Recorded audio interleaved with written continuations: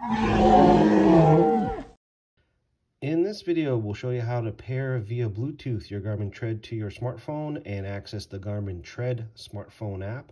This is a fairly important step when you first use your Tread because you'll need it to uh, get data from Garmin Explore account, uh, enable to get some of your live traffic and smart notifications and weather and a whole bunch of stuff here. So uh, basically, when you first start up, you'll get a wizard, uh, which will be in the settings at the top here to start pairing all your devices to get started.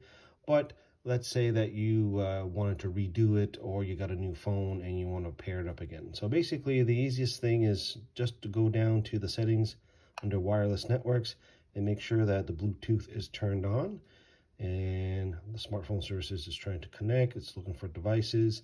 Now, if we had, for example, a headset, headphones, we would tap on that to search for uh, other Bluetooth devices. But here, knowing that we don't have uh, anything paired to it, we can start by doing the process on our smartphone and we'll flip over to the Tread app. All right, so we have the Garmin Tread app open and we're pairing for our Tread device. Now, I'm going to show you a mistake that keeps coming up all the time. This is not the normal behavior, but take note of the Bluetooth name here. It starts with BLE underscore Tread. This is not the right device we need to pair, but if we were to pair this by mistake, it's just going to spin around and around and then we're going to allow notifications and it gives us the impression that we did this right but we didn't pair this right so we need to start up again and, and start over and i've run into this problem quite a bit so i'm going to kill the app i'm going to go into my bluetooth settings and I'm going to go to my Bluetooth list. I'm going to go and I'm going to forget this BLE underscore tread device because we need to restart from the start. And I want you to notice at the very bottom, notice that the tread is sending out two devices. It's the BT underscore tread that we want to pair first, but not the way that we saw in the screen. So I'm going to open up the tread app again. I'm going to pair the device, and this is what I, we should be seeing. Pick an accessory. There's our BT underscore tread. We're going to select it. We're going to see the pin code. We're going to see that on the device. We're going to tap on pair. And then now we should going to pair this normally. And then we should start to see the other BLE device. Now I think in this case, I just tapped on the yes on the tread and it I didn't have to punch it into the phone. By this point, we should see iPhone notifications, yes, allow.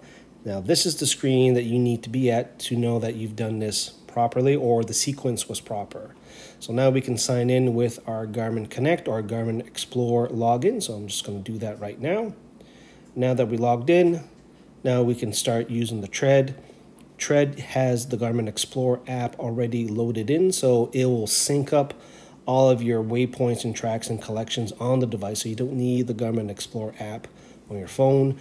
The Garmin Tread app can also export your GPS track from your Tread to other devices on your phone or email it or what have you.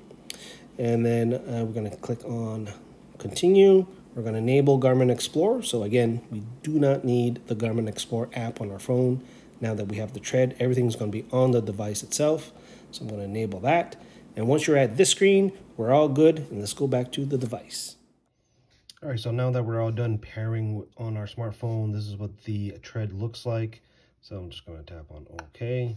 And you can see here now that we're fully paired with our smartphone. If you don't see the name of your smartphone displayed and you don't see the tread icon and the music icon, that means that you'll have to forget the devices again, start over, turn everything off, turn off Bluetooth on the phone, turn off Bluetooth on the tread, boot up the phone, and then boot up the uh, Bluetooth and then start the process again. I did this five times in this video same problem. Make sure that you get uh, the right tread device pairing first, and then the BLE pairing will come afterwards. And in my case, I've had to acknowledge keys two, three times before I got to the next screen. So don't get frustrated if things are not working, but this is as of December 2021 with the latest 6.9 firmware. This is the behavior that I'm getting right now, but in any way, this is how you pair your smartphone to the Garmin Tread.